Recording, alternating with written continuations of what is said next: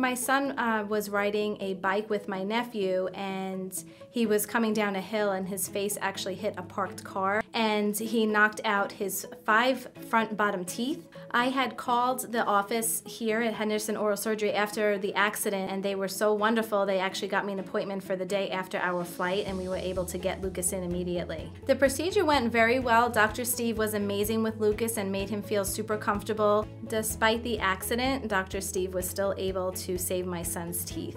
The team here is great too. I mean, they were working with us through every day. I, I, just think they're great people. I mean, I, I love them here. I kind of feel like they're family. They know us so well. If there are any parents out there that are looking for a great oral surgeon, I highly recommend coming here to see Dr. Steve and his staff. They're wonderful here.